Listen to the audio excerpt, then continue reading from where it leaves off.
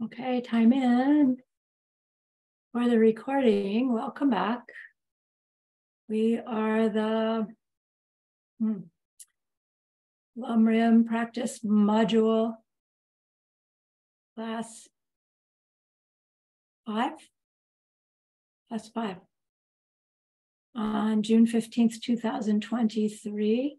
Let's gather our minds here, please, as we usually do. Bring your attention to your breath until you hear from me again.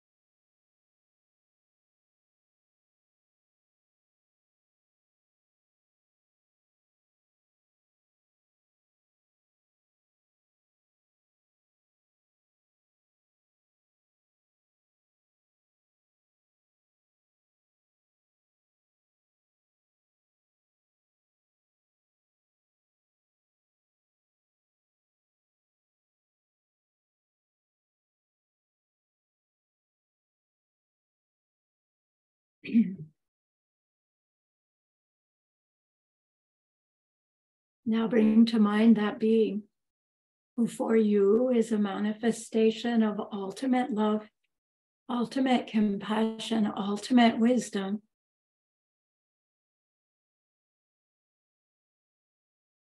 And see them there with you.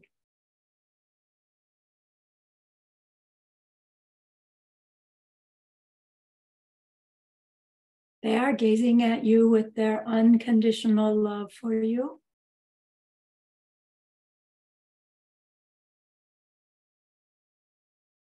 Smiling at you with their holy great compassion. Their wisdom radiates from them. That beautiful golden glow encompassing you in its light.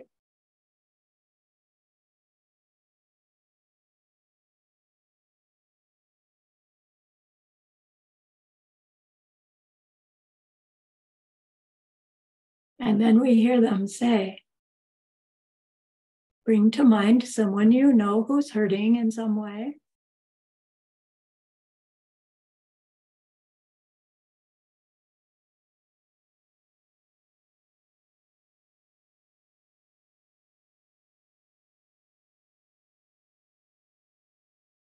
Think about how much you would like to be able to help them.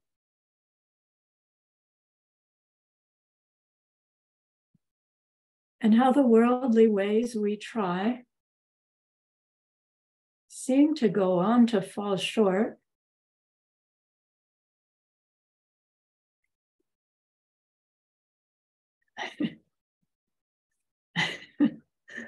Sorry. How wonderful it would be if we could also help them in some deep and ultimate way. I'm sorry.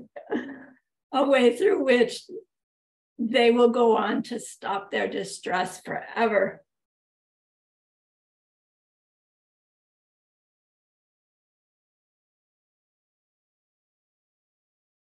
We are learning how that is possible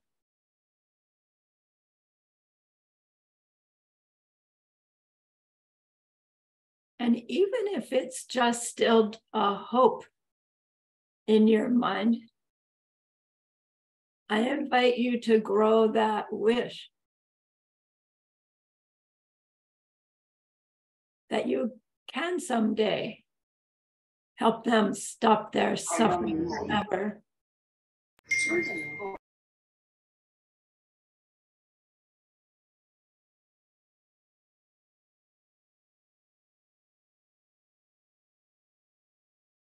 Grow that wish into a longing.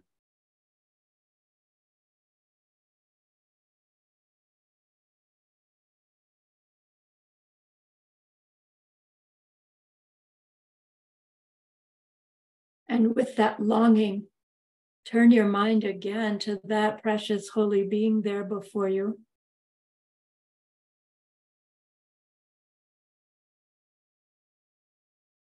We know that they know what we need to know, what we need to learn, what we need to do to become one who can help that other in this deep and ultimate way and so we ask them, please, please teach us that.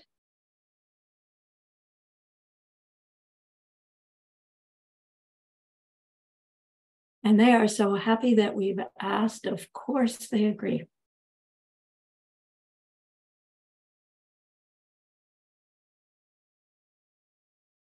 Our gratitude arises we want to offer them something exquisite. And so we think of the perfect world they are teaching us how to create. We imagine we can hold it in our hands. And we offer it to them,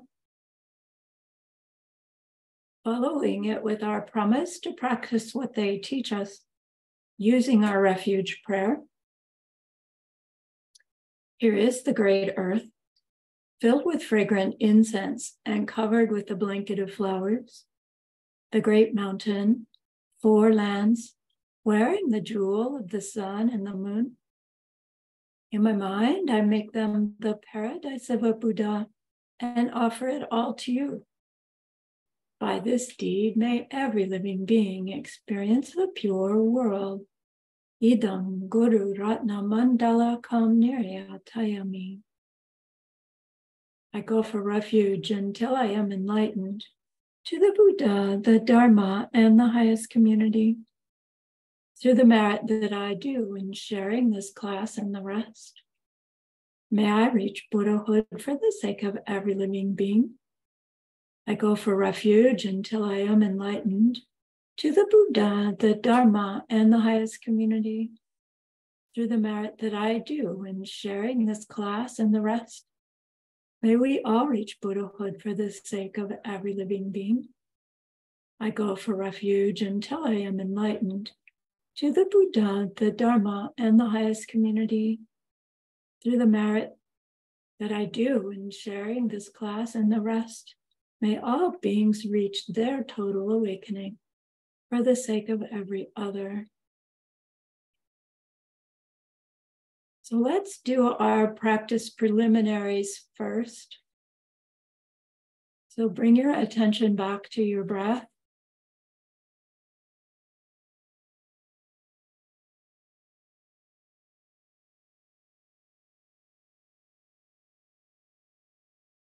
Use it as a time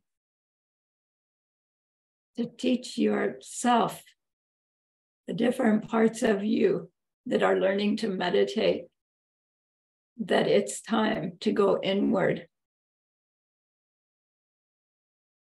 Focusing on your breath can become a trigger for that.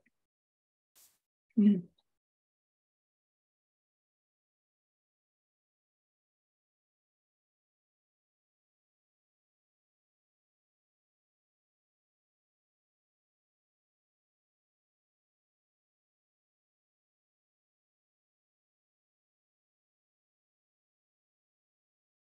It seems like a simple task to just focus on our breath.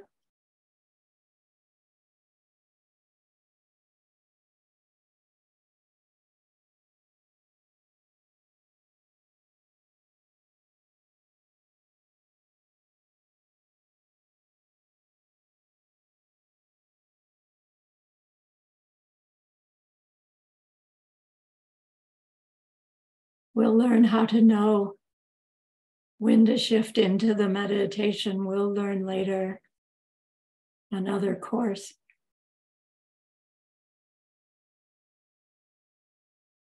But when we shift, we shift intentionally.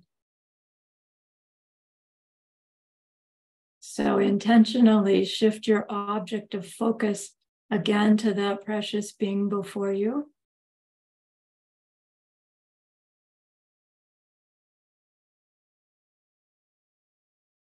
Think of who they are for you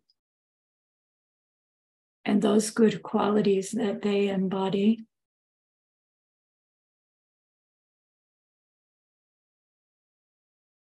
Think of just one of those good qualities that inspires your heart.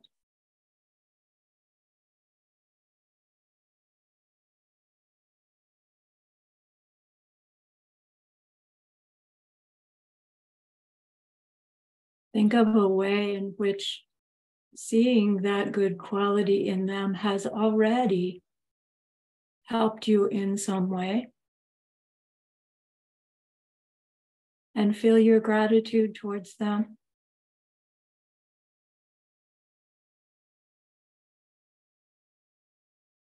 And your devotion to learn more from them. And mentally honor them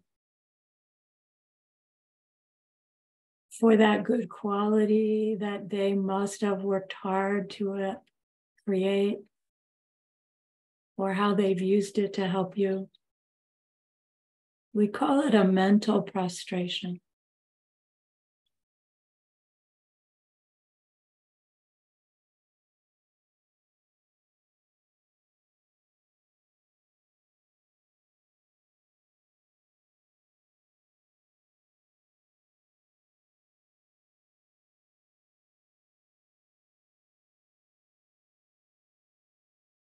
See them smile in understanding of what you're trying to convey.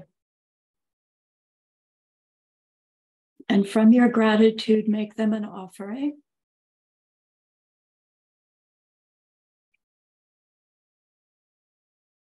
Some beautiful thing that represents your feelings towards them.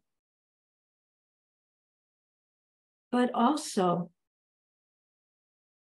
offer them the explanation of some way in which you put into practice something you learned from them. They already know it about you, but they're so happy to hear you recognize you taught me to go out of my way to be kind to something somebody I don't like so much. And I did it this morning.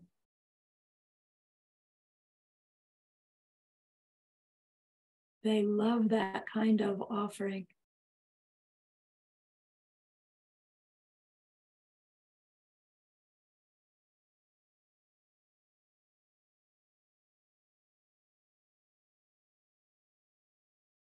Again, see them so happy with you.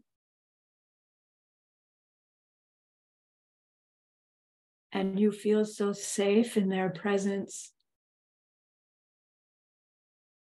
that you open yourself up to admit some unkindness. Tell them about that.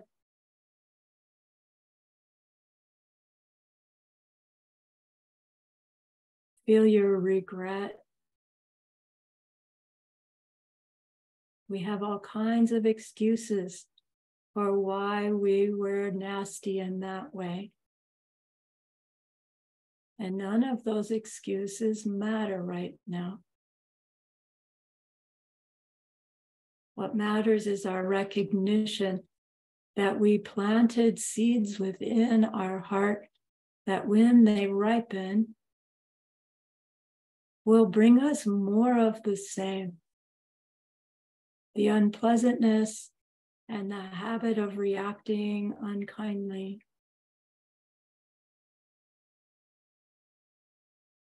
And we don't want it in there.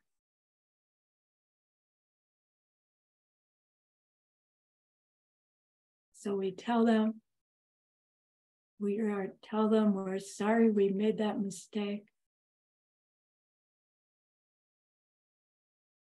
Make a promise to not make that mistake again in some specific instance and time frame.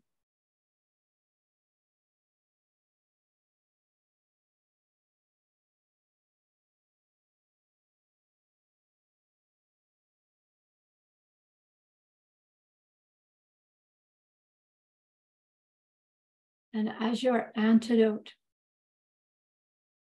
perhaps say, I will listen carefully in this class to find one nugget of your amazing wisdom that I can use later today into tomorrow to show that I'm catching on to what you're teaching me.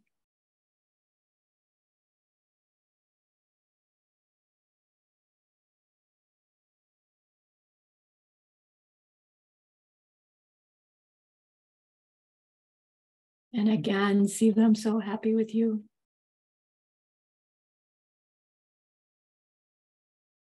And they remind you to next add rejoicing. Think of some kindness you saw someone else do in your world. Tell them.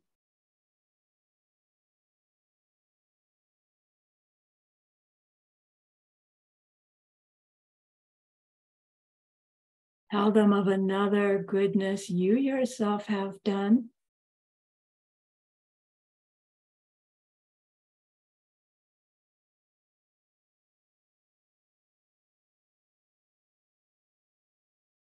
And find a third one to tell them about.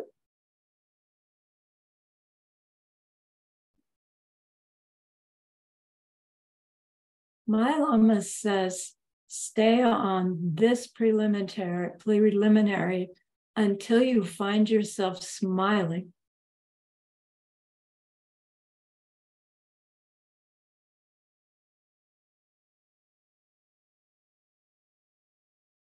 So let's just smile so we can go on.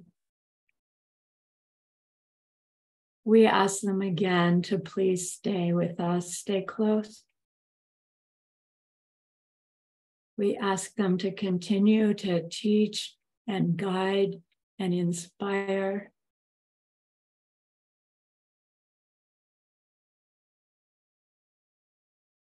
We ask that those people around us who help us and uplift us stay close.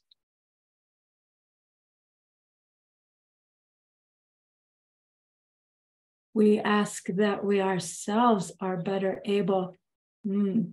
To see teachings coming to us by way of our everyday experiences in life.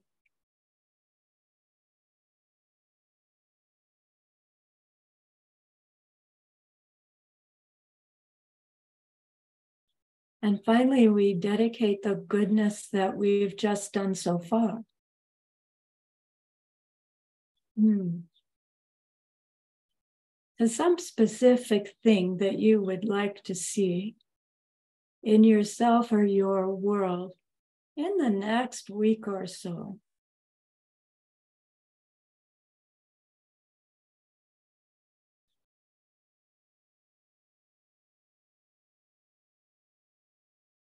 Good. Now, for our class purposes, leave your precious being out there in front of you they are using me to communicate with you.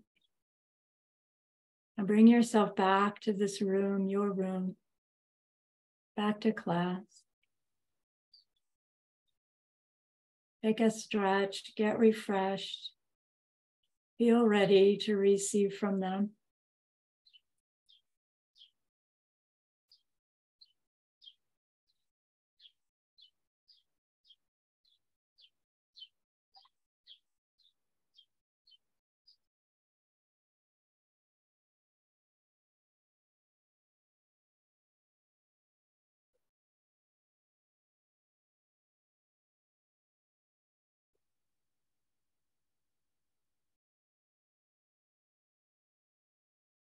And then let's listen again to the verses of the text that we are studying from. This recipe for our ultimate love, ultimate compassion, ultimate wisdom being. So, translators, you're welcome to go ahead. You don't have to wait for me to go verse by verse, okay? The source of all my good is my kind Lama, my Lord.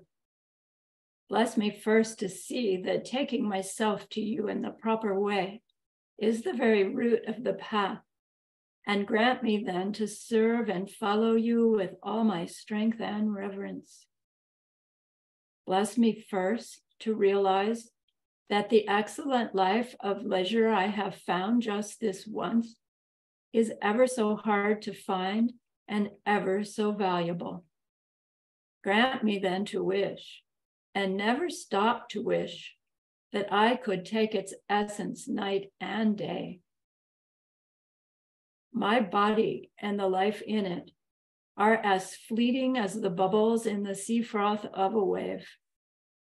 Bless me first thus to recall the death that will destroy me soon, and help me find sure knowledge that after I have died, the things I have done, the white or black, and what these deeds will bring to me, follow always close behind, as certain as my shadow.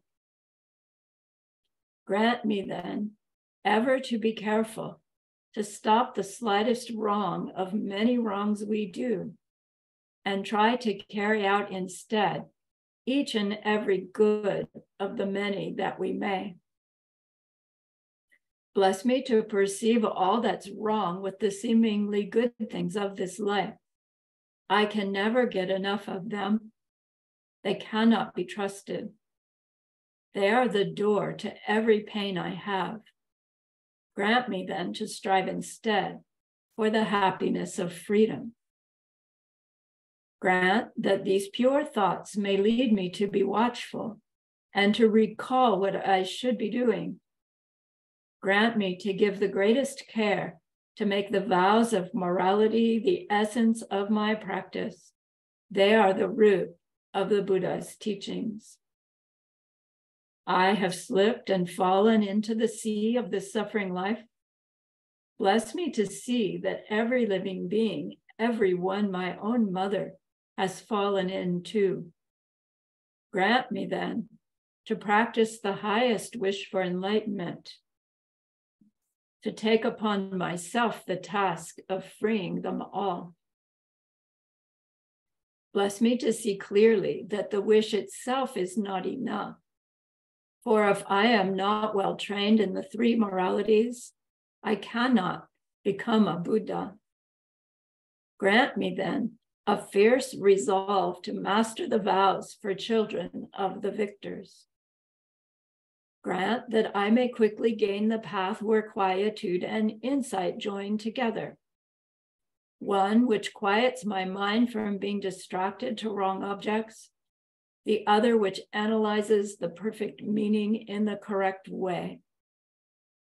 Grant that once I have practiced well the paths shared and become a vessel that is worthy, I enter with perfect ease the way of the diamond, highest of all ways, holiest door to come inside for the fortunate and good. Bless me to know with genuine certainty that when I have entered thus, the cause that gives me both the attainments is keeping my pledges and vows most pure. Grant that I may always keep them, even at the cost of my life. Bless me next to realize the crucial points of both the stages, the essence of the secret ways. Grant me then to practice as the Holy One has spoken putting all my efforts in and never leaving off the practice of the four times highest that there is. Bless me, grant me that the spiritual guide who shows me this good road and all my true companions in this quest live long and fruitful lives.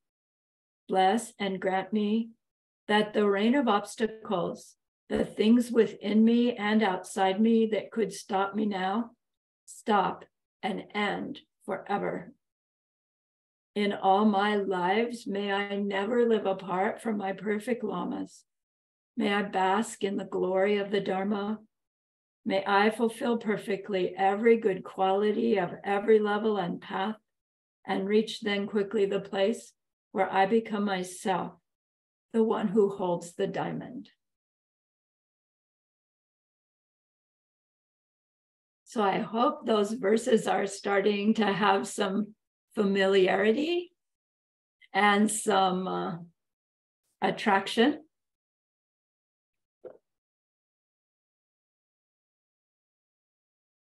Last class, uh, we we learned more about the Bodhisattva room, that level of the prayer where we've said, Oh, all beings are suffering. I, if I can help myself, which we haven't got quite there yet, but if I can help myself, I, I they can all do it too. I want I want to be I want to help. I want to help them all. And just wanting to do it isn't enough, we learned. It's the start. But then to actually make that change in ourselves we declare that we will by taking our bodhisattva vows. And the bodhisattva vows instruct us on in how to live according to the six perfections. The first four being those activities that help us grow the last two, which help our first four be done with greater wisdom which helps grow the last two, right? And we see this beautiful circle, upward spiral, preparing us, preparing us, preparing us. And at some point, our precious holy guide says, You are ready.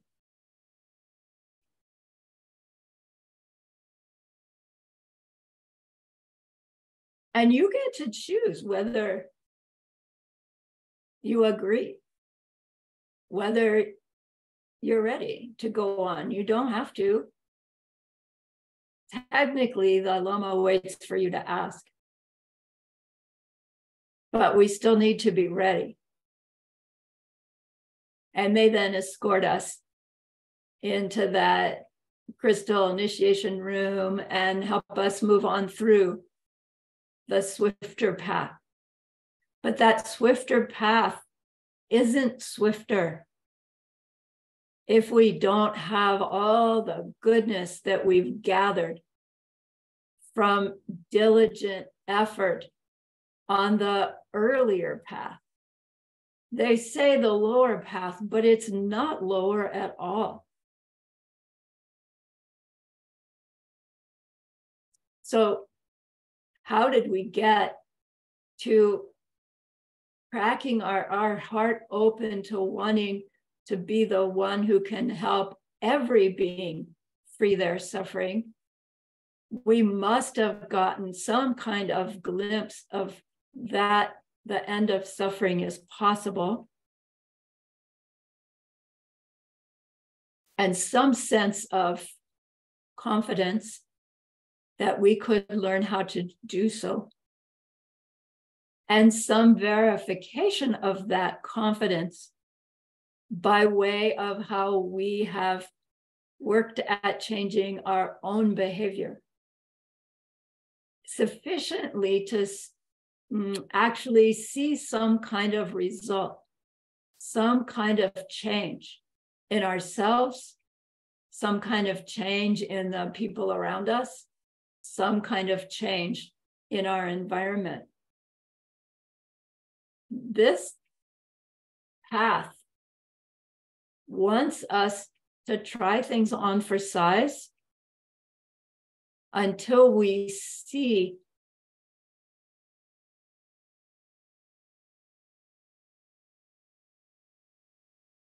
till we receive evidence.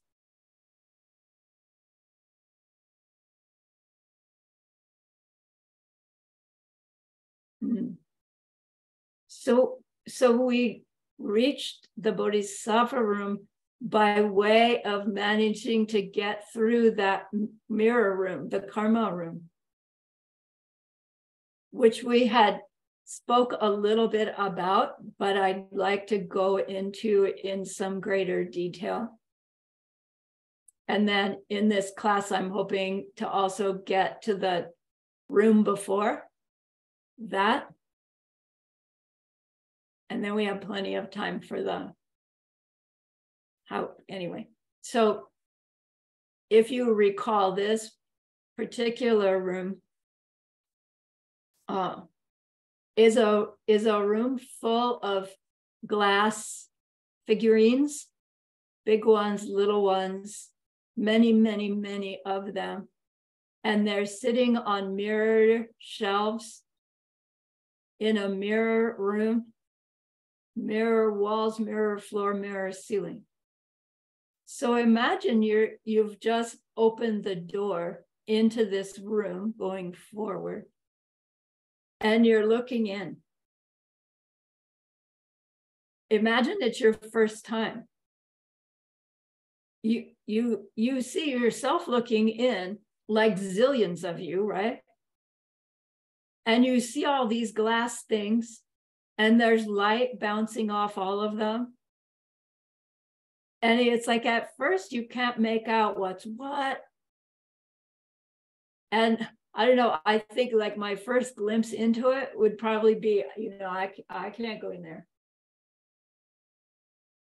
But we're going to step in anyway. And it's so packed with these glass things that you can barely move without knocking something over, you know, breaking it and then you try to pick it up and you bend over to pick it up and you knock over three more things, you know. and the task in this room is to learn uh, and practice how to move through all these fragile things of our lives, mm, gaining the skill to find yourself moving through a beautiful antique shop, gazing and admiring and taking care of, right? These precious, precious objects, not wanting any of them, but wanting them all to stay beautiful and intact and available to others as we move our way through this room in this graceful, enjoyable, safe, confident way. And when we are able, when we find ourselves in that state of mind, most of the time, let's say, that's when we recognize I learned how to do that when I first entered this room, I couldn't think without breaking something. But now, right, I've learned. And now I really enjoy this room. And I see that if I could do it, others could do it. And in fact, I want others to do it because of how much happier and confident and peaceful I feel in my life. I want that for them. And that's what brings us to the Bodhisattva room. Right? So we want to understand what's what's our training like in this mirrored room. We may spend a long, long time working through this room. And it's it's not good or bad to spend a long time. In fact, I would argue it's good. The longer we spend in this room, the swifter will be the remainder of the rooms. Because this room is our karma room. So, karma, we tend to hear the word karma and immediately think, oh, the law of cause and effect. And it is that. But when we learn the details in this tradition, they define karma as lele jikta natsuke. The, no, that's not the definition, that's the explanation. Le, it means movement of the mind and what it motivates. That sounds very different than the law of cause and effect, doesn't it? Because it's very much more personalized. It's movement of my mind and what it makes me do. Is your mind ever not moving? No. You know, even in sleep, technically, awareness is still doing something different, instant by instant.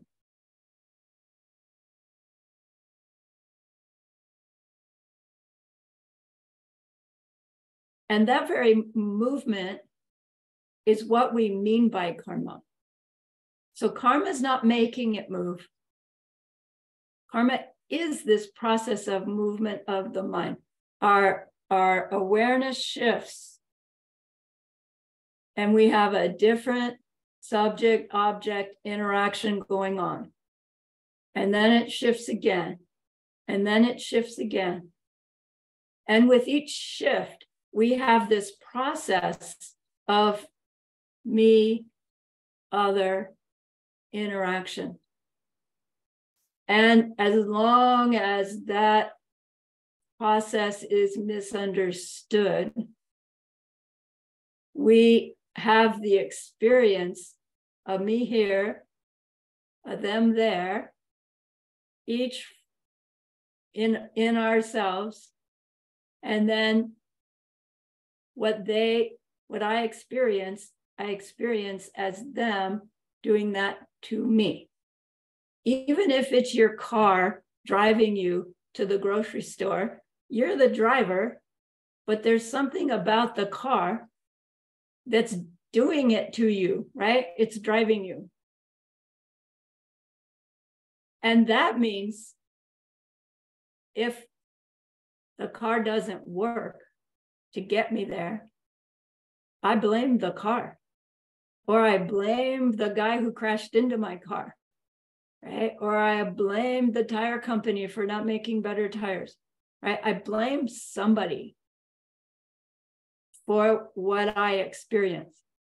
Technically, even when I experience something pleasant, I blame the other for my pleasance we don't call that blame, do we? Because blame, we only blame when it's bad.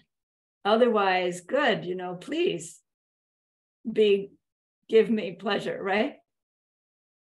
But we're still misunderstanding. So karma means when my mind moves and it instantly responds technically reacts. And that reaction has within it me versus other. And that naturally has in it protect me, serve me. Okay? Me, me is the most important. And that colors my choice of interacting with the other. And the instant we are aware of ourselves finishing our interaction towards the other, which technically we finish every instant, but let's just say finish, right? That perception that we've had has made an imprint on our consciousness, on our mind. And that imprint stays being influenced by other imprints in and other imprints out until something happens that that one has reached enough power to cross the threshold into manifestation. And we experience a situation similar to it only only they say bigger it can't be identical because it's been influenced by the time between when it was planted and when it ripened. It's influenced by things that are similar adding to it and things that are dissimilar taking away from it. So if we have negative imprints of, let's say, being angry and yelling at someone. Future anger, future yelling adds power to previous angry yelling seeds. Anytime we are in a situation where we would be inclined to yell out of anger and we don't,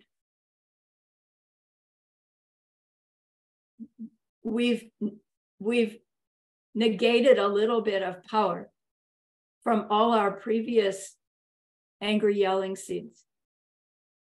So you can see it becomes a numbers game.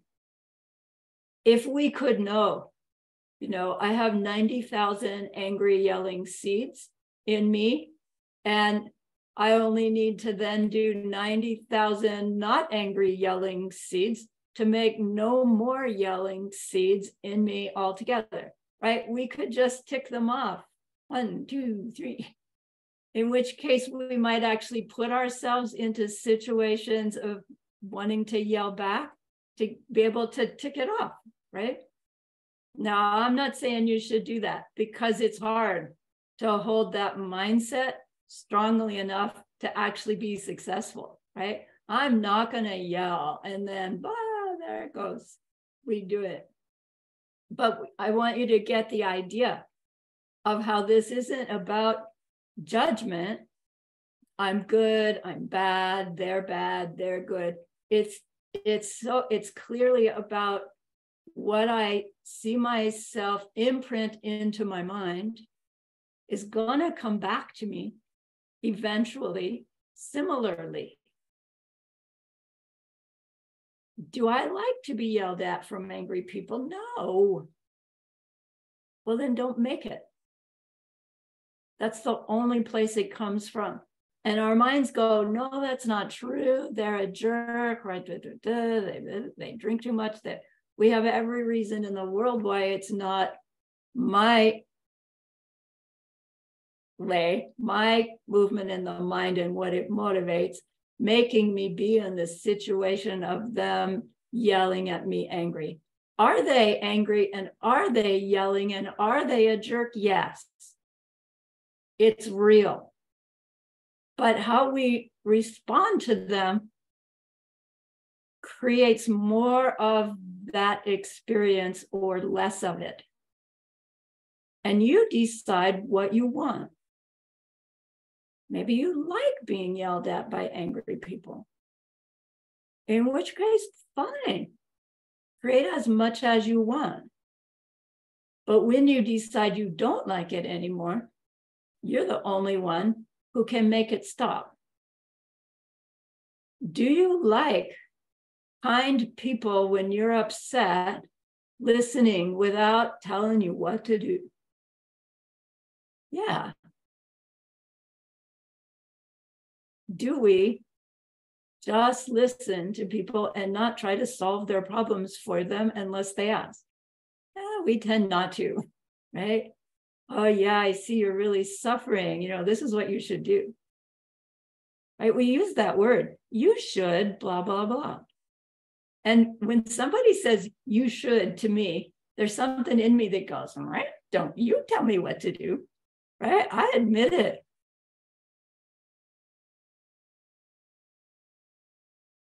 So I try to be careful.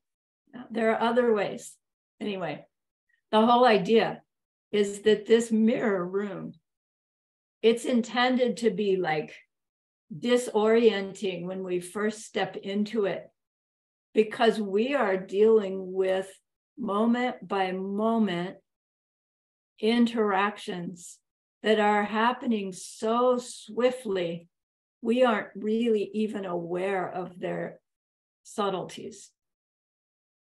Each, each imprint that gets made, it includes the obvious, but it also includes anything else you were thinking at the time.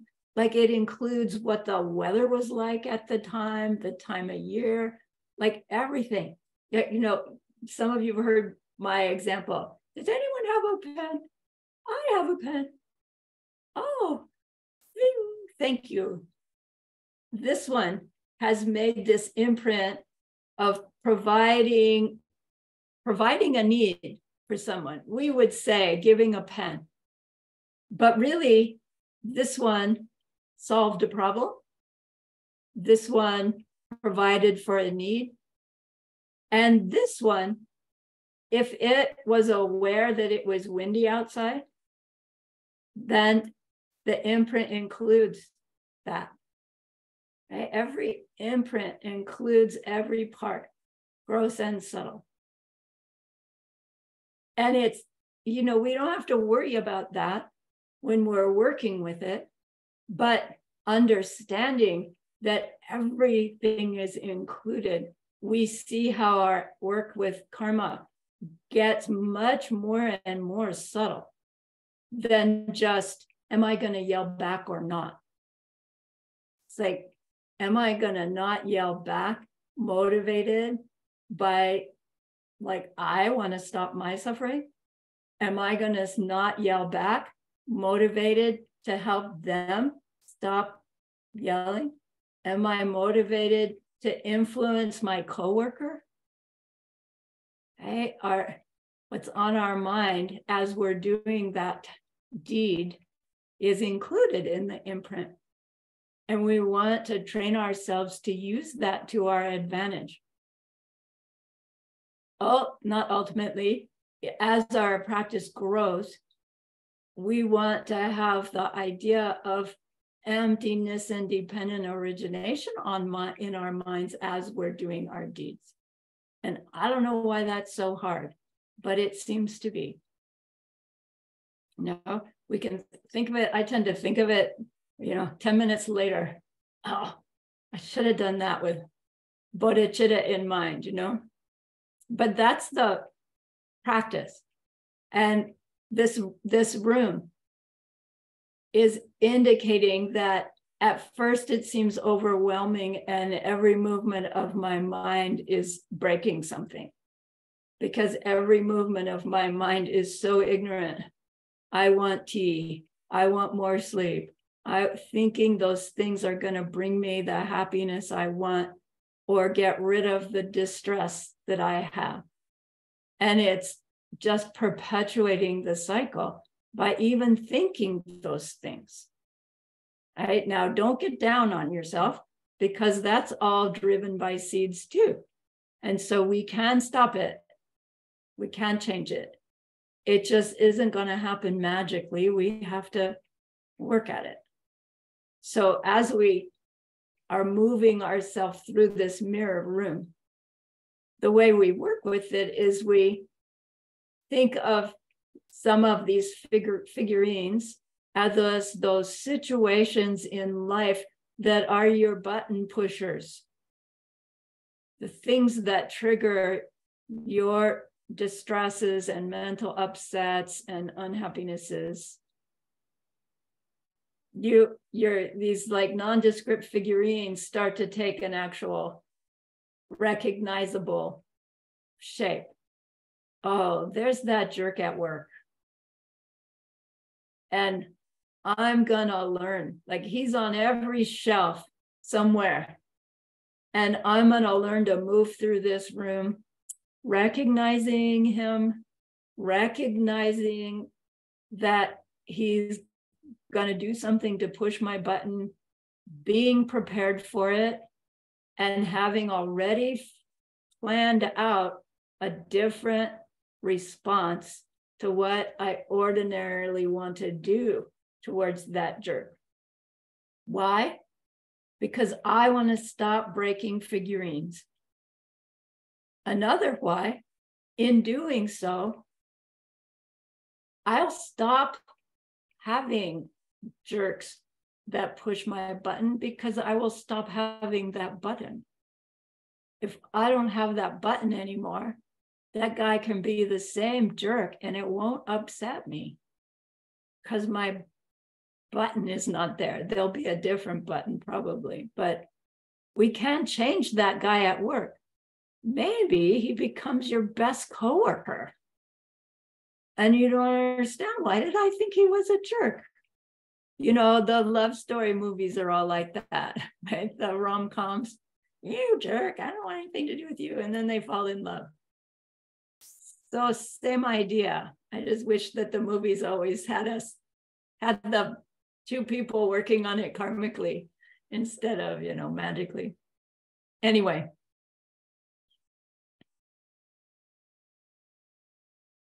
So let's get a little bit more specific about what behaviors am I on guard to avoid and what behaviors do I want to be training myself to do instead if what I see myself do in response to my every experience is where I have the power to create my future? I want to know how to create a nice future for everybody. It's fair to say, I want a nice future for me. Because then we're motivated enough to learn how to do it. And along the way, we recognize, oh, the way I am more successful in learning how to do it is to help other people do it.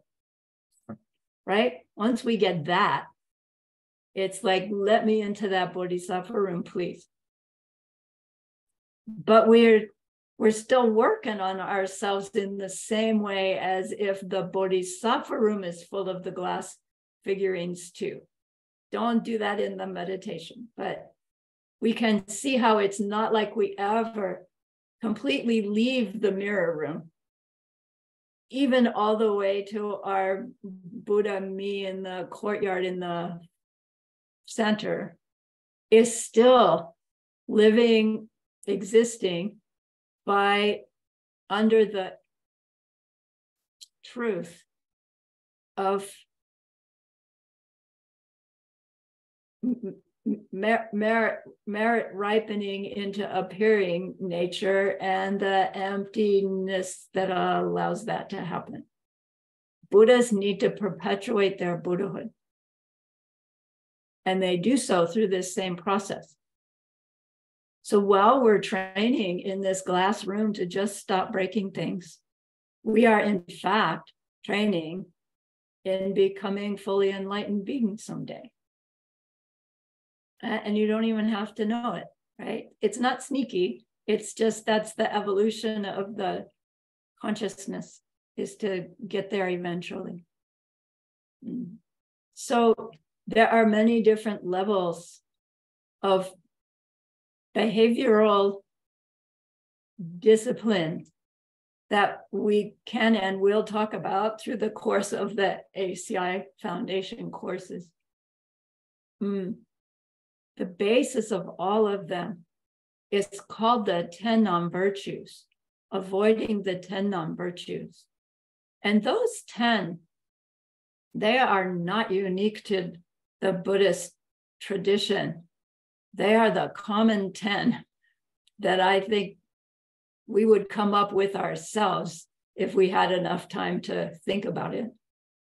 And remember that when we say the behaviors to avoid, it's not because these enlightened beings decreed it, it's because these enlightened beings recognize all the mistakes that they made in the course of their own suffering lives, through which they learned how to behave differently, that brought them to that reality of being manifestations of ultimate love, ultimate compassion, ultimate wisdom. So they give us this guidelines of behavior in hopes that we don't have to reinvent the wheel to save us time and suffering. It's up to us to choose to work with them or not.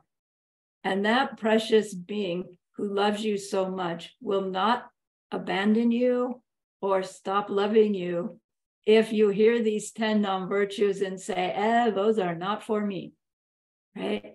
They are so infinitely patient with you. It's like you and your teenage son, right?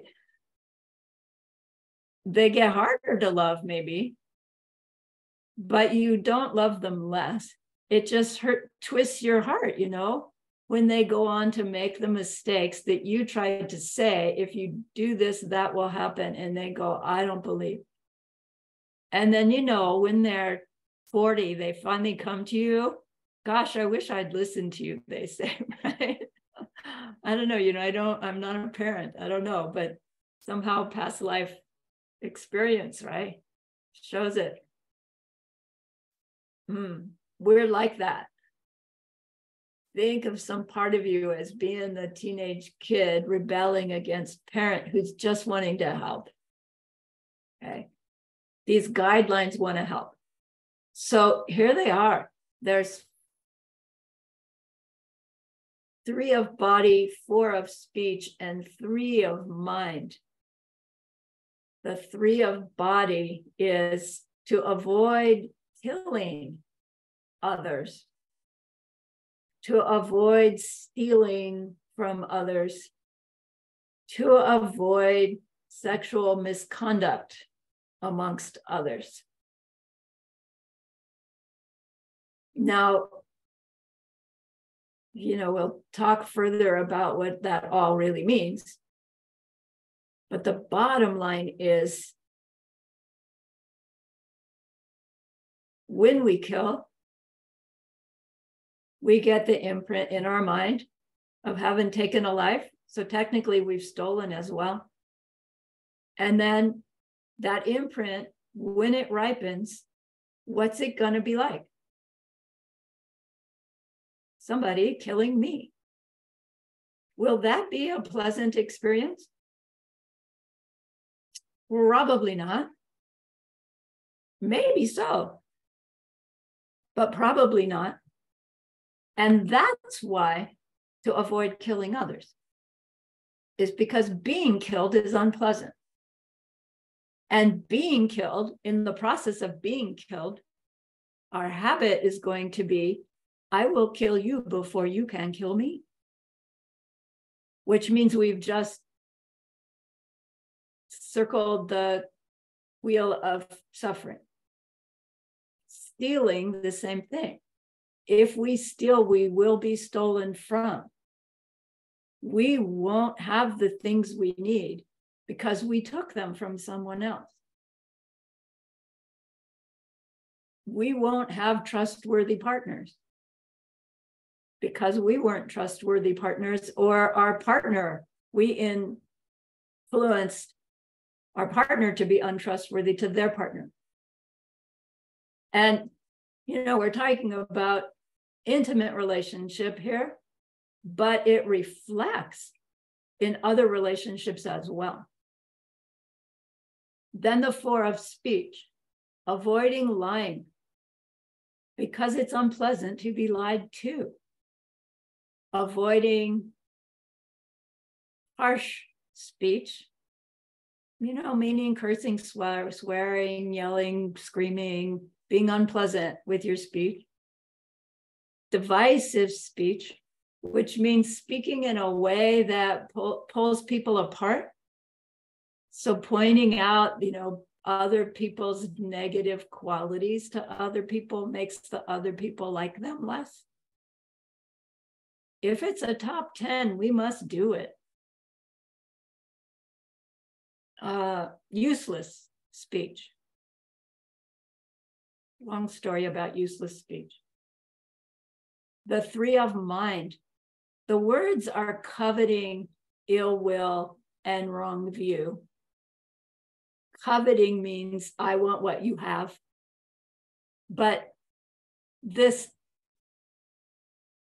imprint is being unhappy when someone else gets a little bit of happiness. Whether it's something they got that I wanted or not doesn't matter. It's just that twinge of, I don't like it that they got that. We could call it jealousy or envy.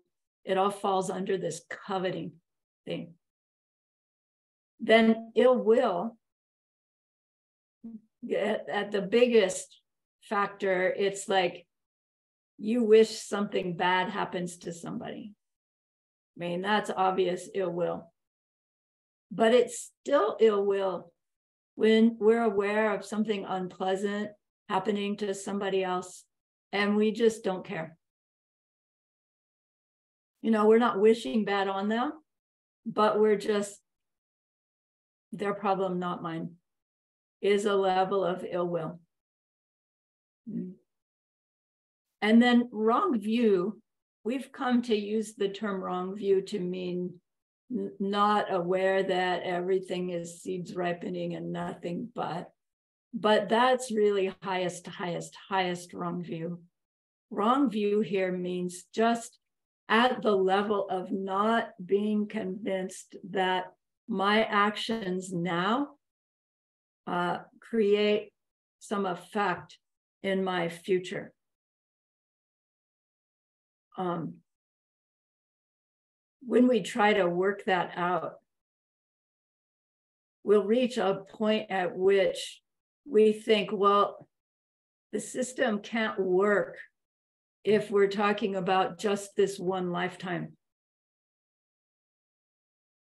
And so, if we don't believe that there are past and future lifetimes, uh, it's harder to understand how our actions and consequences really run our reality.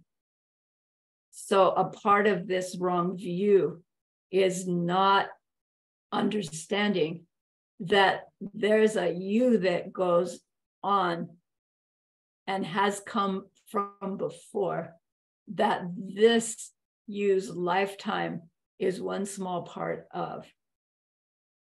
And that when we get this greater awareness, then our concern for our movement of the mind and what it motivates goes beyond our concern for this life.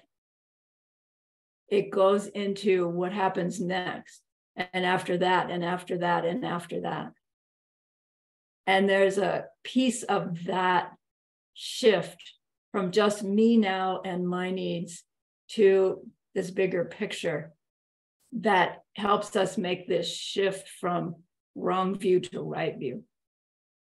There's another piece of this level of wrong view, and that is not having a understanding that there are fully awakened beings already existing Right? The term, they say to not believe that there are Buddhas.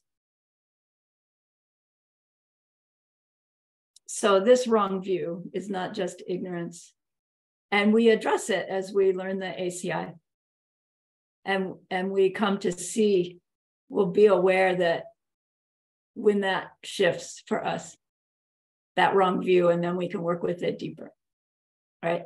So as I said these Oh, sorry, time for a break. Past time for a break. Let's take a break.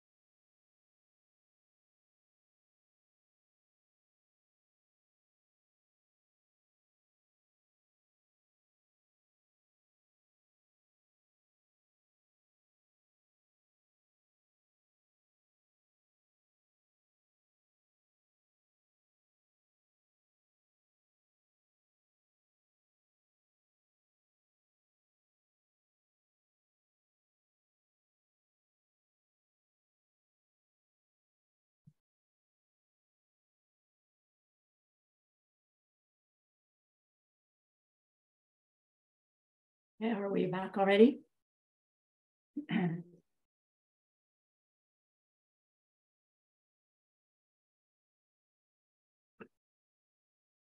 so avoiding these 10 non-behaviors is half of what we train ourselves in in this mirror room of working with our karma. The other half is to train ourselves in their opposite. So we could call them the 10 virtues. And they're so fun to talk about. We it, we could go on for days about what does it mean? The opposite. I will avoid killing. Is the opposite just not killing? Or is the opposite actively protecting life? And it's not really a and or right? It's all of the above. And do we only protect life when we slam on the brakes because the squirrel's running across the road? Or do we protect life when we wear our seatbelt and insist that our passenger wear the seatbelt? So we kind of think, well, I have only rare opportunities to protect life. But in fact, we can find in our day many opportunities to recognize that we are protecting life. Often, more often than we recognize. So we're training ourselves to very intentionally avoid killing by very intentionally being one who protects life. Right? If our mind is focused on protecting life, we're not going to be as likely to inadvertently or advertently kill somebody. So, not killing the opposite is protect life. Not stealing the opposite is protect others' property. Yeah, I don't steal, that's enough. But when I borrow the neighbor's, you know, lawnmower, I return it after I'm done. But I could clean it up and oil it and return it to him in better shape than I used it. And I would be protecting property, uh, protecting others' relationships, really honoring others' friendships, others' close partnerships, uh, behaving around others, personal partners, as if your partner is there with you, right? Their partner is there with them. So you're not the least bit tempted to flirt or nudge or anything, right? In order to create a world where people are trustworthy. You know? Partnerships are trustworthy. Speech, we speak truthfully, not giving wrong impressions. It doesn't mean to say to the your girlfriend, you shouldn't wear that color. It looks awful on you. right? That would be speaking truthfully, but it's unkind. So, truthful does not give you carte blanche to be unkind.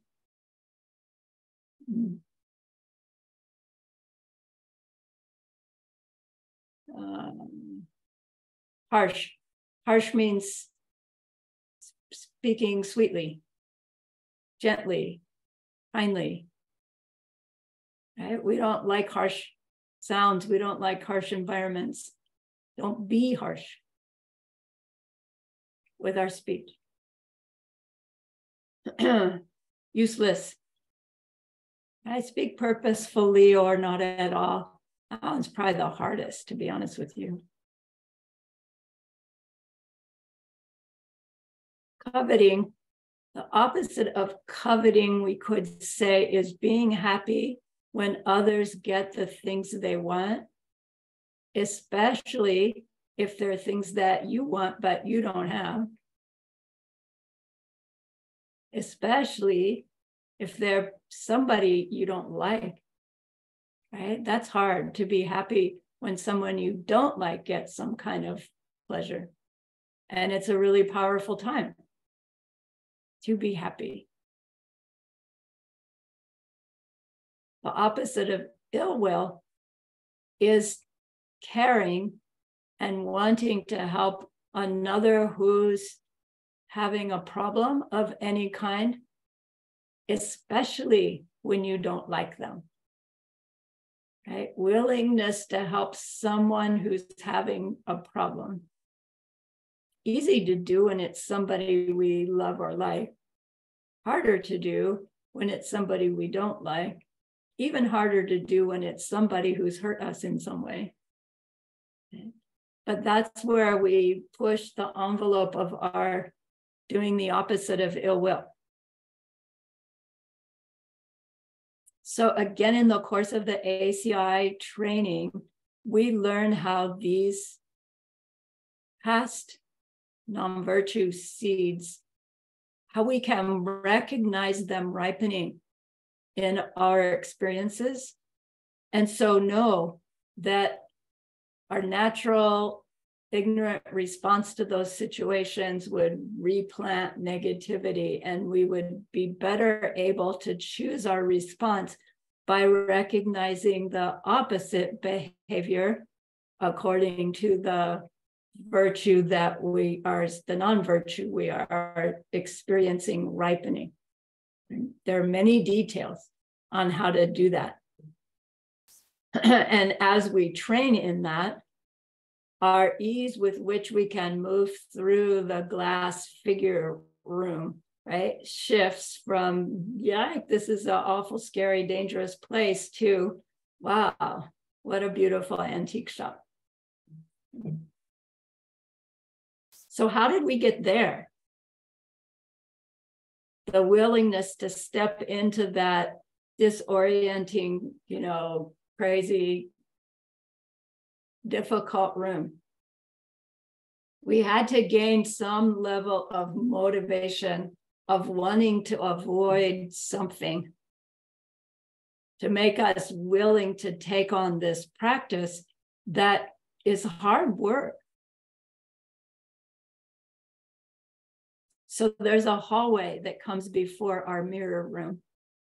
And this hallway, it has glass windows in it. And when you enter this hallway from front towards the mirror room, outside those first two windows, like on either side, you you look out there and you see yourself. Maybe one window is yourself in the past, and the other window is yourself in the future. And you see yourself in some situation that caused you um, great distress or pain or upset in your past. You know, we've all got at least one that sticks in our memory. They did that to me. I got so hurt, so upset.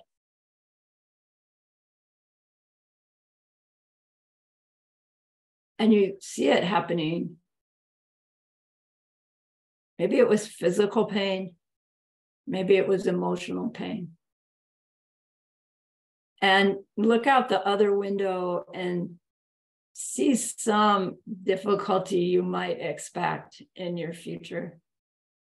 Some obvious, unpleasant something happening. Not that it's going to, but just, you know, something that happens to humans. That's called obvious suffering. Obvious suffering is all of those distresses that we experience in the moment, something unpleasant, headaches, backaches, fired from a job that you liked, untrustworthy partner, just plain obvious unpleasantnesses are called obvious suffering. There's another level of suffering Buddha taught, and it's called the suffering of change. The suffering of change is harder to recognize and actually happens more often to most humans than obvious suffering. Obvious suffering is someone who has chronic pain, chronic mental illness, chronic emotional distress, meaning they have it all the time. Or someone whose circumstances is that they're struggling for survival. Hmm. They're in obvious distress most of the time. But those of us in more fortunate circumstances, our obvious suffering, uh, you know, comes from time to time. Headaches, toothaches. Can't get what we need. The suffering of change means that when something pleasant is being experienced and that pleasantness ends, the ending of the pleasantness, because of our misunderstanding of where the pleasantness really came from, triggers a desire for more of that thing that's now gone. And that wanting more of the thing that was pleasurable that that's now gone, believing that having more of it will bring me the pleasure back again, is what they mean by this suffering of change. David and I call it the, the suffering of and then it's gone You know, you only get ice cream once a week. Finally, it's time for your bowl of ice cream. And it comes down to the last bite. And then it's gone for a whole nother week.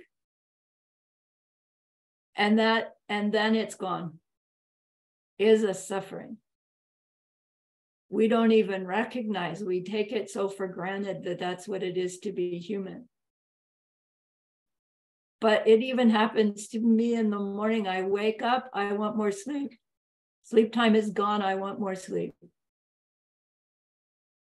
And I force myself to go to the exercise class I lead. I have fun while I'm doing it. And then it's over. Just when I'm getting warmed up and having fun, it's done.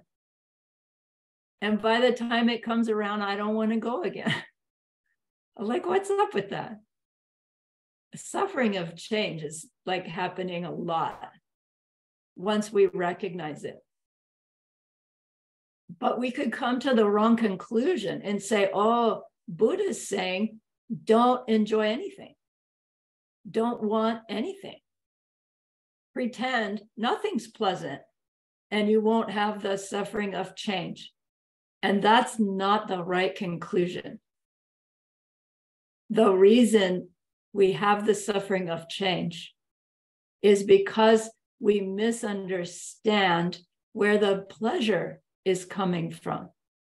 We're so convinced the pleasure is in the ice cream that, of course, when the ice cream's gone, the pleasure is gone. But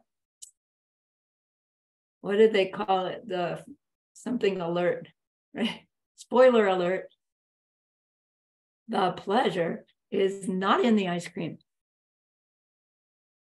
We could create our movement of the mind and what it motivates to be pleasure, pleasure, pleasure, pleasure, pleasure, pleasure. Just pleasure. And if we think of it, uh, we, we should aspire to that. But if we reach it still steeped with our like self cherishing me, we will go in the wrong direction in seeking that pleasure, pleasure, pleasure.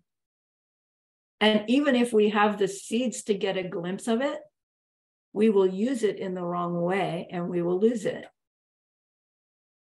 Whereas when we create it in a wisdom way, we create pleasure that we automatically and spontaneously perpetuate.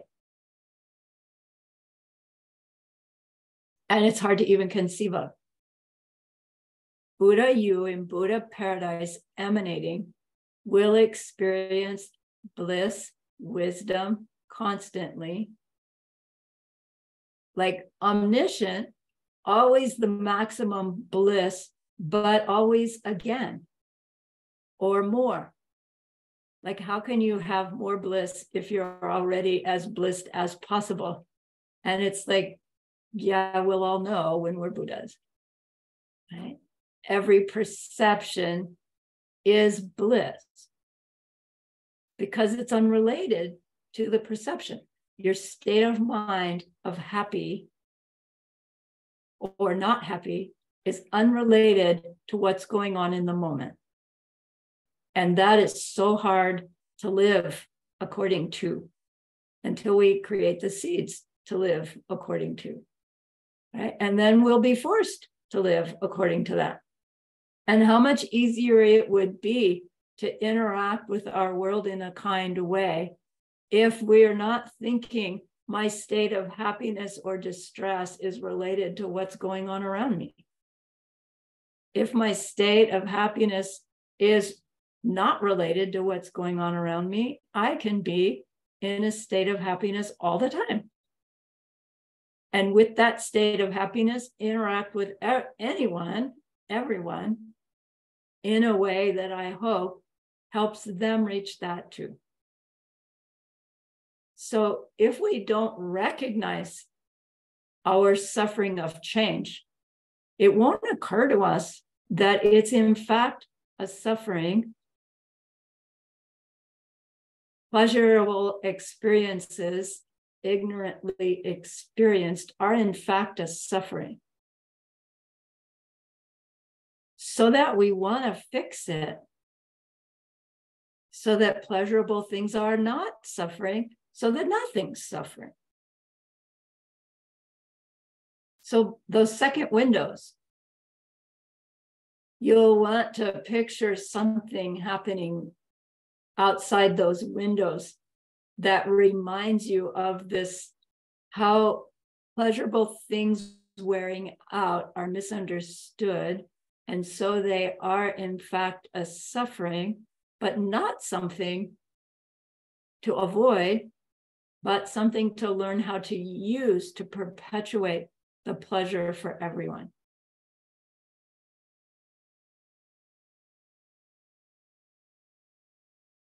The third kind of suffering is called pervasive suffering. It has many levels.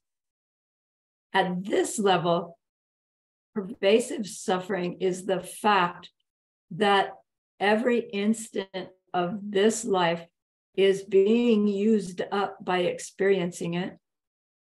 And so, by being conceived, this pervasive suffering started, and we are using up our seeds for this life, this health, this particular kind of awareness, human awareness.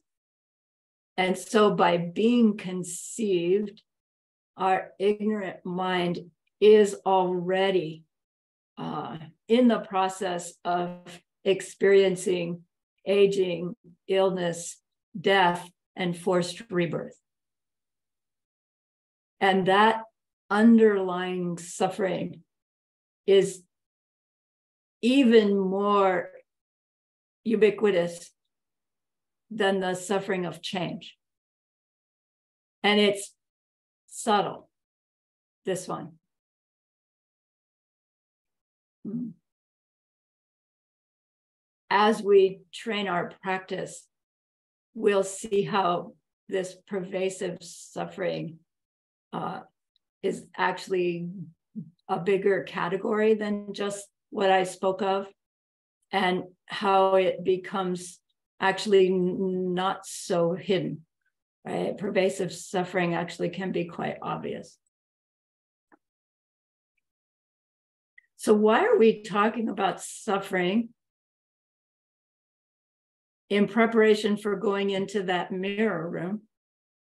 Because we, when we get to a point where all of that suffering is just we you know we finally have had it up to here something happens finally that it occurs to us that that there just has to be something broken here some there has to be something wrong with this picture it can't really be that this is what it needs to be like for infinity It's some, something triggers a wake up call. And I don't know what it will be or was for you. I know what it was for me, and I remember it so clearly. And it pushed me right onto this path that I didn't know, that I wasn't aware of, I didn't know I was interested in. And it's like there's been no going back, how swiftly things have happened since that event that just shifted my reality. You know, from material reality is truth because you can see it, hear it, smell it, taste it, feel it, to, well, that's not true. No, in a in a matter of minutes and I had nothing to fall back on. And so I was in this vacuum, right? This black hole. And fortunately, I had enough goodness that that black hole sucked uh, some wisdom beings to me to teach me. You know, and then I don't know, in 30 short years, no, 40 short years, here I am with something to share, right? Something to give. So the verses that we're on, it's it's uh, uh what we've been talking about is held within several verses, but when you work with it, you'll see how they go. The the mirror room Geshe-la likes to relate to the verse that says, Grant that these pure thoughts may lead me to be watchful and to recall what I should be doing. Grant me to give the greatest care to make the vows of morality the essence of my practice. They are the root of the Buddha's teachings.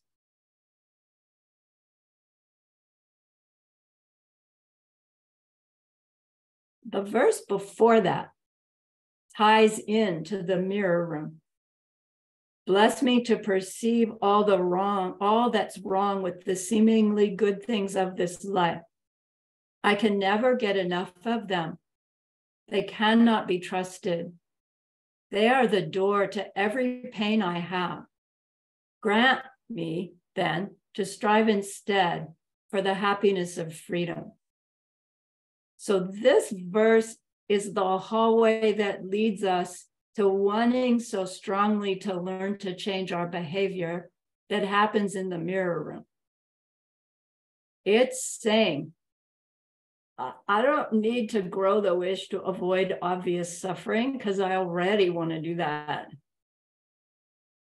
But to come to recognize that seemingly good things of life still make me suffer because I they leave me wanting for more. And I have this constant dissatisfaction. And it it doesn't matter what I do. I just keep trying for more happiness and it all goes wrong. It all I get it and it ends. Or I don't get it and I'm upset either way. It's not working. Without coming to that, our own conclusion. We'll hear these teachings and they're fascinating and interesting, but when we get to the glass room, we'll just stand there. So, this hallway is important not just to scare ourselves, and I mean, I mean, not to scare ourselves at all, but to come to recognize that th- this is this is the nature of the human realm. Obvious suffering, the suffering of change, and pervasive suffering. And we all have the goodness to have a, a glimmer of how it's all unnecessary. All of that suffering is a big mistake. And it could be brought to an end. Nobody else can do it for us. Our teachers can teach us, but it's up to us, the teenagers, to decide am I going to try what they say or am I going to prove it? You know, am I going to wait until it occurs to me. Totally up to you how much time you want to spend in this hallway of the three sufferings before you decide, I've had it, I want to break out of here. All right, Geshe-la says we need to recognize we're in jail before we'll want to get out of jail. So, this hallway, you could think of it that way too recognizing there's bars on those windows or bars on the door. Let me out of here. Until the door swings open. And then you're standing there with all that glass and mirror staring you in the face. Right? We want to get to that point where the hallway has shown us the true nature of our suffering so clearly that we're willing to step into the confusion of that mirror room and take it on as a challenge. You see the connection? In practice, don't push yourself so fast. It's about renunciation, which we'll learn about in ACI 1. Being in this hallway room, it's about growing our renunciation. And that happens on our first path, the path of accumulation.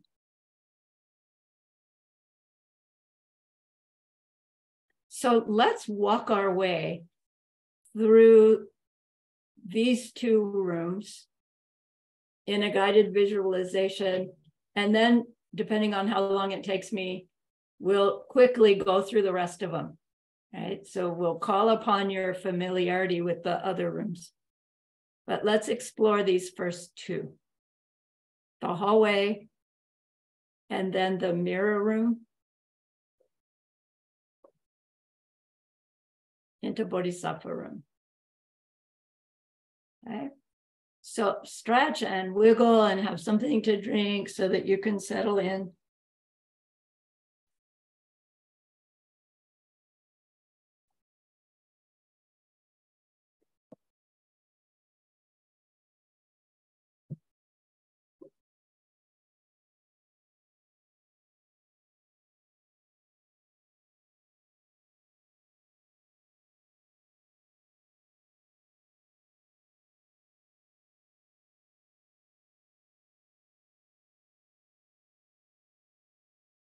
Okay, set your body upright but well propped so that you're comfortable and relaxed.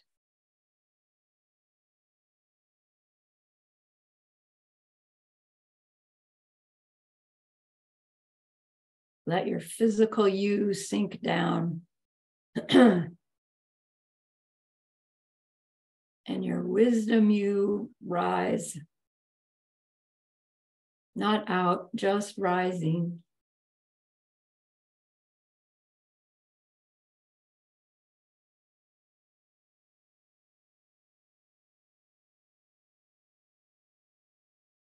Start your focus of attention turning inward by starting at your breath, counting out and in as one breath. Try to focus really alert and fascinated on those sensations for five breaths.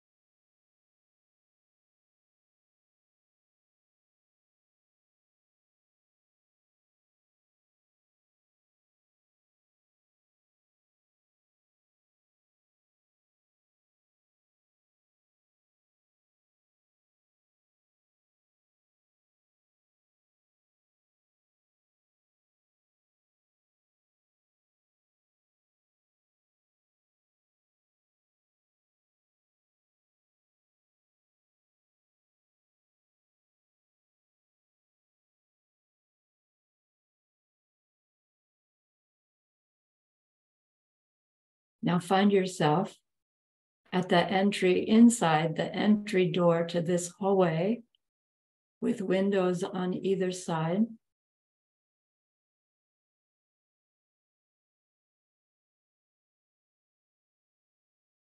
Take it all in. And then look to your left out that closest window.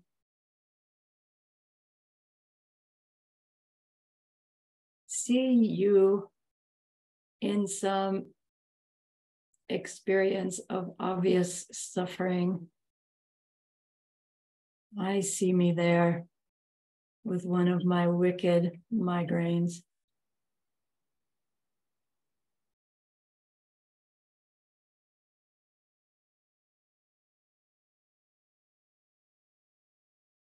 Feel your feeling, oh, I remember how awful that was. I wish I could make that stop for her. I wish I could make it stop.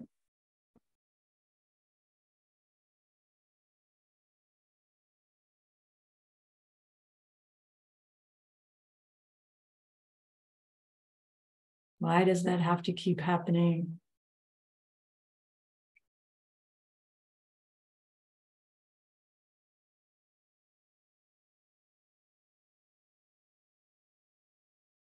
Surely there's some way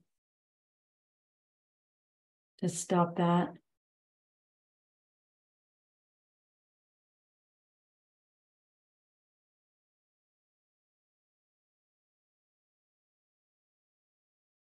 Then turn and look out the right window opposite. See a future you in some kind of office, some kind of obvious pain.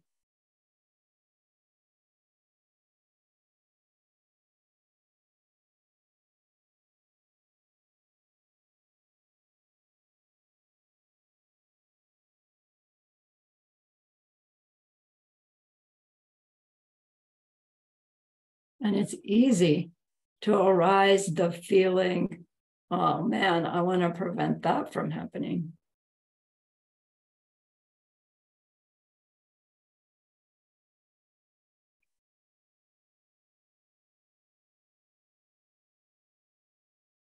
If I really knew that was coming,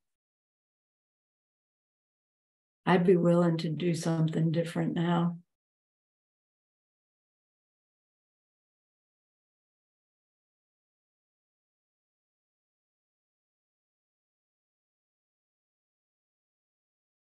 And step a few steps forward. Look to the left again.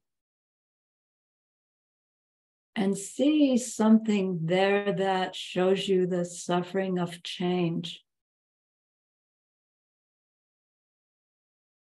Maybe you recall, now that you've heard of the suffering of change, you recall some situation that was so pleasant that when it ended, you were so disappointed.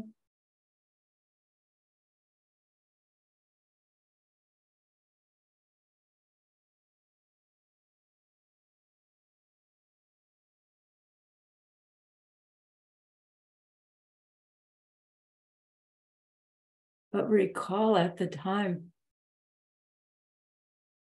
that despite that disappointment, we just carried on.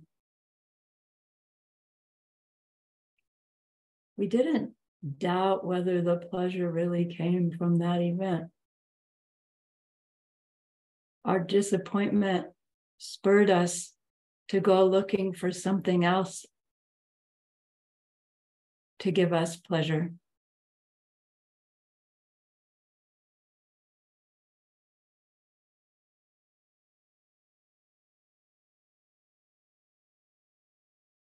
We want to recognize that sense of displeasure that comes when the pleasure stops.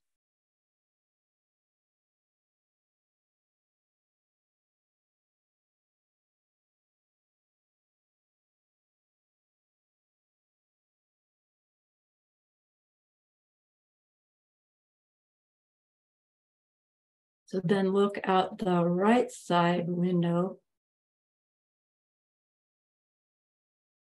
and see a future you, but like next week future. Enjoying something pleasurable, and then it wears out.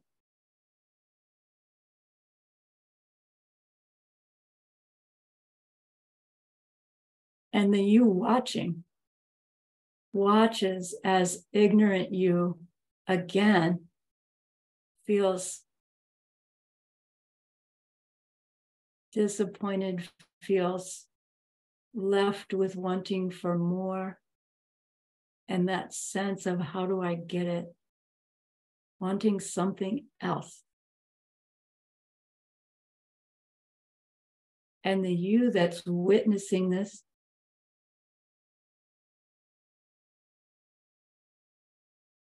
Hmm. Now that you know a little bit about the suffering of change, can you witness and feel a sense of compassion and th- this is unnecessary? This kind of suffering I didn't even know it was a suffering. Now I do, and it's unacceptable.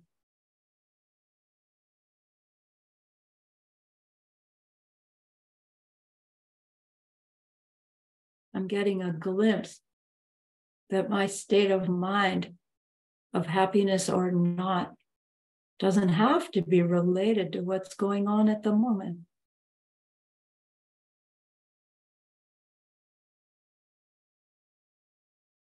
I'm beginning to feel this sense of wanting to stop the cycle, wanting to do what's necessary to change this mess. Obvious suffering is obvious, something I don't want. But if pleasurable things are suffering too, this is broken. I want to fix it.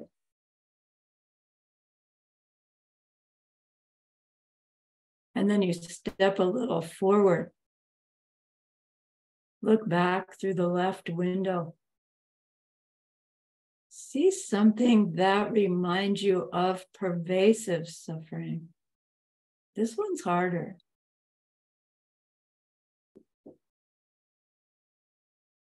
The fact that we are using up this life moment by moment no matter how much yoga we do or vegetables we eat.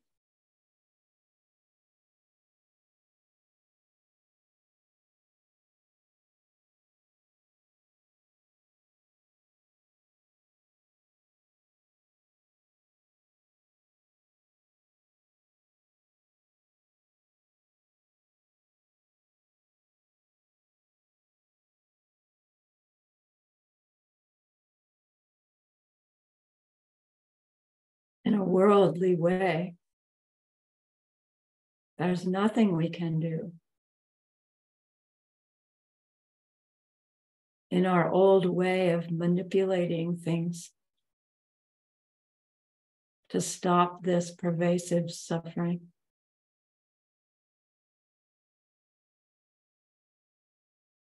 But it too is part of the great mistake it does not have to be.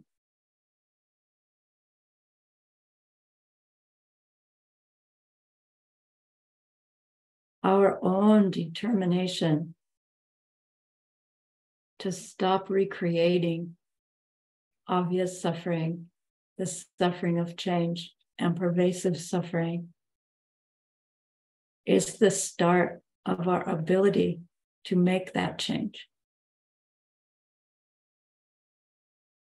How much suffering do I still need to undergo before my wish to stop it gets strong enough for me to be willing to change my behavior?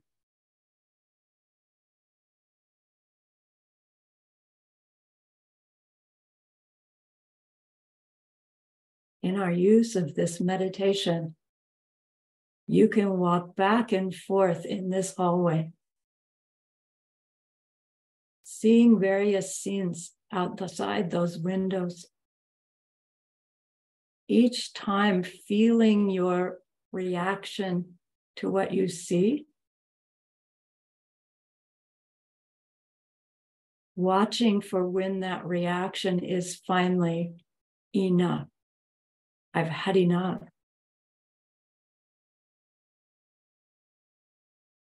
I'm taking responsibility for my own suffering.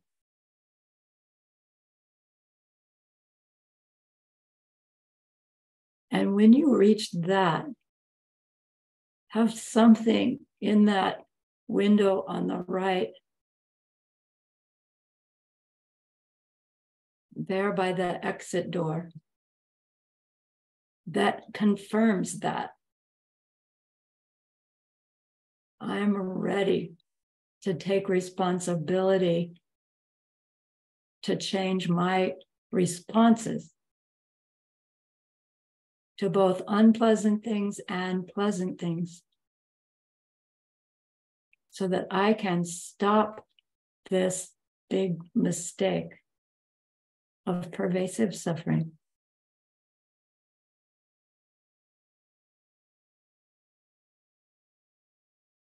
And so I imagine that you in that hallway has gotten this deep aha. And because of that, that door to the mirror room swings open. And you're standing there looking in.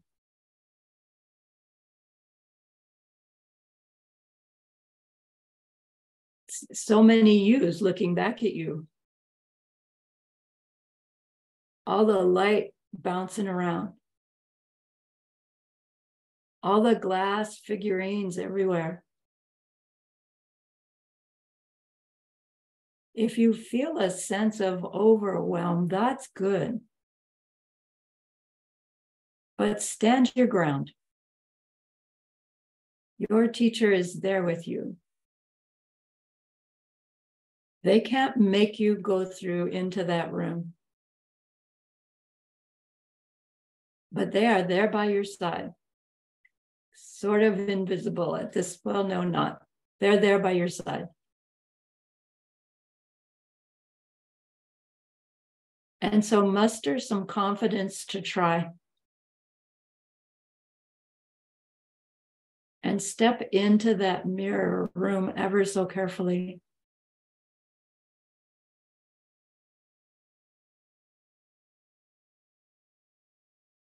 And think to yourself right now what's my biggest day to day challenge?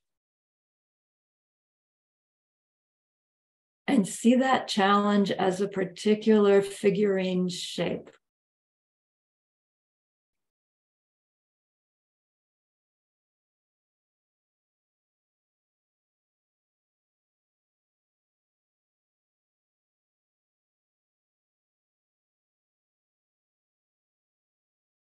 And now that you have a specific figurine shape in mind, now as you look through the room, you see, oh, there it is. Oh, there's another one. Ah, another one. You can start to delineate that particular figurine from the mix of the others. And get a sense of that figurine and what it represents in terms of those 10 non virtues. Oh man, I respond with ill will. I see that now. And give yourself an idea of how you might choose to respond with the opposite of ill, ill, which is helpfulness. How could I be even a little bit helpful when I'm feeling like that other person deserves what they're getting, represented by that figurine?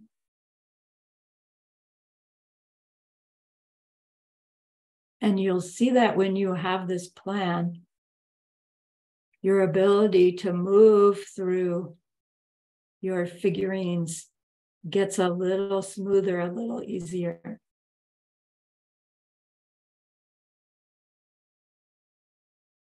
So maybe on any given meditation day, you just move an inch or two in this room without knocking over glass things. Or maybe you work with just that one situation and see yourself able to, although you knock over others, that one you keep intact. How you use this room is completely up to you.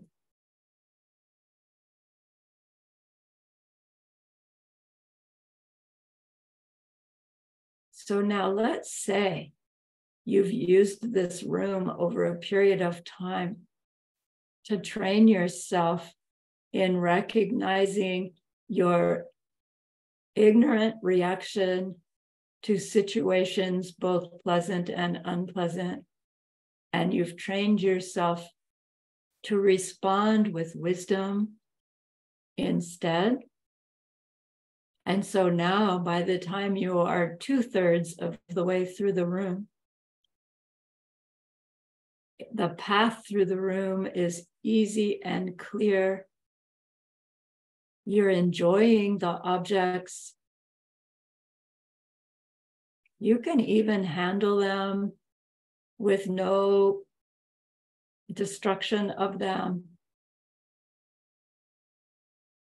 And you're moving through with such ease and such happiness that it occurs to you if I can change this much, and now I know what worked for me, I want to help everybody do it.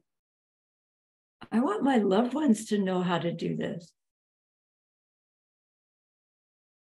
And we find ourselves reaching that blue door of the Bodhisattva room that has its list of guidelines for how to become the one who can help that other.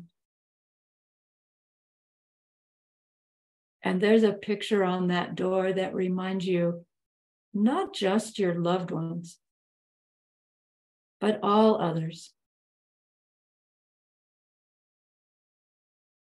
And when you have that added peace, that blue door opens and you're in the room of the six perfections.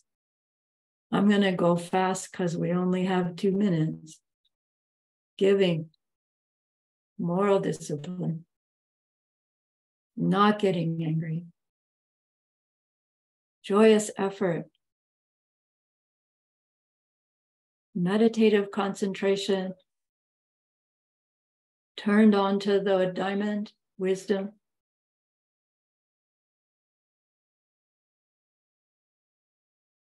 that we repeat that, all those deeds, until our teacher there says, Ah, you are a vessel that is worthy. And they open that red door to the initiation room. Those special things happen. You receive your implements and vows. You enter into the vows hallway, learning them, training yourself in them.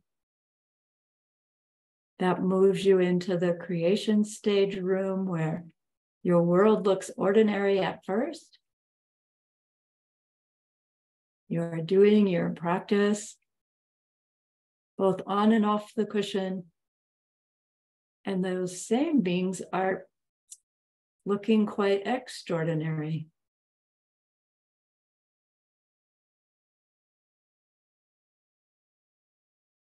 And so you step into the four times hallway, preparing your hmm, body and mind to do the work which leads you to the completion stage room, the twisted plumbing, the special teacher, the guidelines, the meditation, where you see that plumbing becoming untied, parallel, merging, and bringing you to those double doors.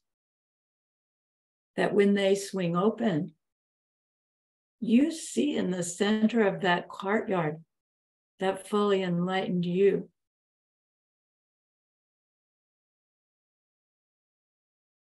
Exquisite, shining in light, shining in love, shining in wisdom, and in the next instant, you are them.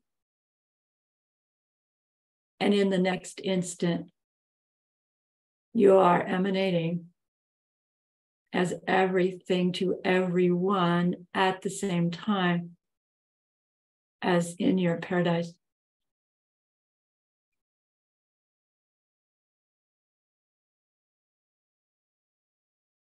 And may it be so.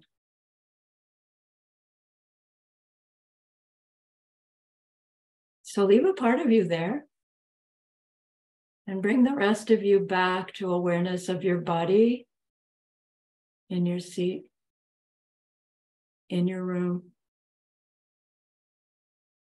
in this time. Think of the goodness that we've just done. Be happy Offer it to that precious holy guide. Ask them to stay with you, to continue to teach you and guide you and inspire you.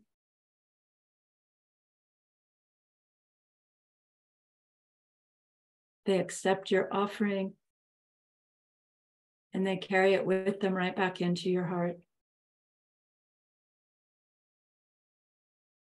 See them there, feel them there. That love, that compassion, that wisdom.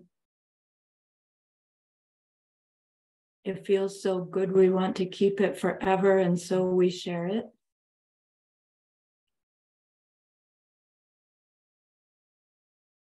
By the power of the goodness that we've just done, may all beings complete the collection of merit and wisdom, and thus gain the two ultimate bodies that merit and wisdom make.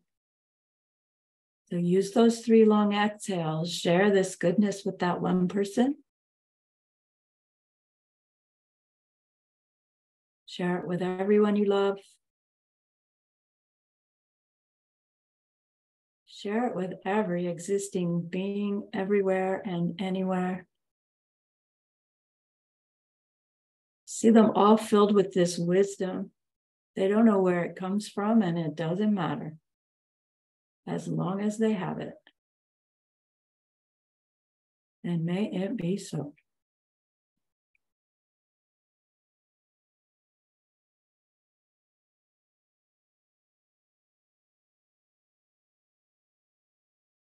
All right, thank you so much. Please forgive me for going four minutes over.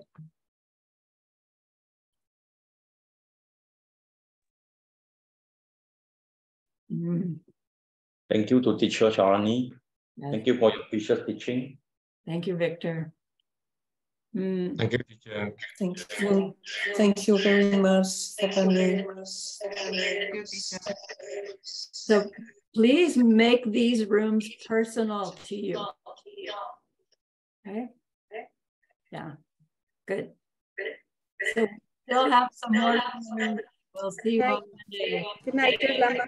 Rest well. Love you. Love you. Bye-bye. Lama. Bye-bye.